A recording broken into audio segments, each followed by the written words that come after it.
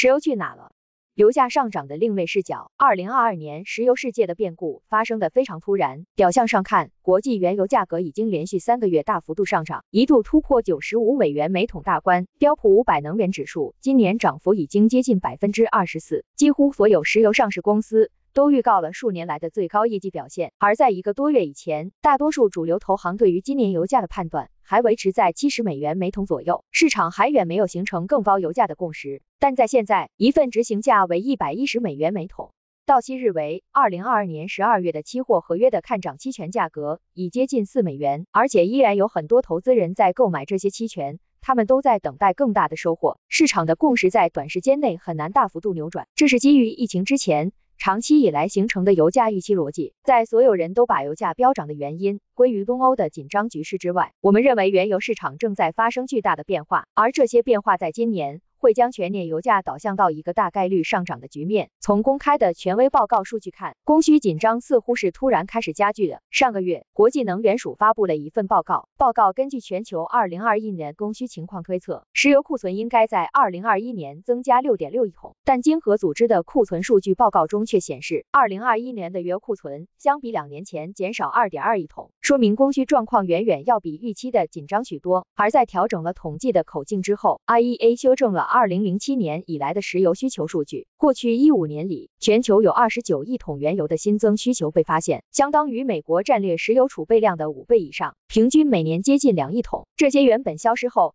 突然出现的原油需求，或许正是这一轮油价飙涨背后的逻辑。造成这两亿桶缺口的原因有很多，或许是产油国报高了产量，或许是这些机构低估了需求。尽管经合组织国家的石油储存会定期公开，但包括中国在内的许多国家并不会对外披露库存状态。考虑到中国已经是世界上原油消费量最大的国家，这一部分的库存信息缺失，或许会让 IEA 的供需预期受到影响。不过，在我们多方了解到，目前主流的库存观测方式时发现，即便有国家不汇报数据，依然有许多可靠的方法。可以把库存计算出来，例如用卫星图拍摄储罐顶部在装载和排出时的状态，油轮的跟踪算法等等，能够在很大程度上弥补没有原始数据带来的偏差。但当利用这些科技力量综合计算之后，IEA 对于原油供需的情况依然出现了错误的判断，导致其预计库存数字出现大幅偏差。从目前的状况看，上述两种情形中，高报产量的可能性并不高。一方面，产油国并没有太大的动机主动虚报产量；另一方面，生产出的原油在流通时，会有前述的科技手段进行追踪，虚报没有意义。那么，另一种情形的可能性就变得非常大。造成这种情况的原因，有很大一部分是因为原油使用方式。在新冠疫情后的变化，让其需求统计变得更加困难。疫情刚开始的二零二零年，有一些这样的论调出现：隔离导致人们的旅行锐减，燃油需求将会不可避免的出现下降。新冠疫情让人们更加关注自己生活的环境，低碳的生活方式将会不断渗透。事实上的情况也基本如此。全球航空业用了两年。都没有恢复到二零一九年的状态。电动汽车和电气化出行的渗透率不断提高，二零二一年高达百分之十四点八，其中十二月新能源汽车占新车出货量比例超过百分之二十。此前，作为主要交通用能的原油，依然是以液体的形式在全球流通消费，其统计方式不仅更加透明，还会有像新车销量这样的数据作为佐证。然而，随着新冠疫情带来的封锁，在过去两年间，或出现更多的原油变成了我们身边的消费品，以另一种方式满足了更大的需求。新冠疫情的出现带来了更多线上的购物和外卖，一部分原油变成了消费品和包装产品的塑料。个人防护需求出现，一部分原油变成了洗手液、口罩和防护服。这些增量的需求很难被像 IEA 这样的机构捕捉，自然会出现对需求的过分低估。如果你是一个因为近期原油飙涨，而关注到这个市场的人，那么你或许需要提醒一下自己，如果对历史需求的计算都是低的，对未来需求的预测也很可能会过低。当越来越多的人认识到这点，油价的持续攀升就是必然。当油价持续走高的市场出现，会吸引大量投资者购买原油的看涨期权。依据彭博社的新闻，过去十八个月的时间里，看涨的交易员购入了大量合约，这些合约与一百美元、一百零五美元。甚至一百五十美元每桶的油价挂钩，而在新冠疫情最严重的时候，这些看涨期权几乎是以白菜价出售。当时没有人想得到，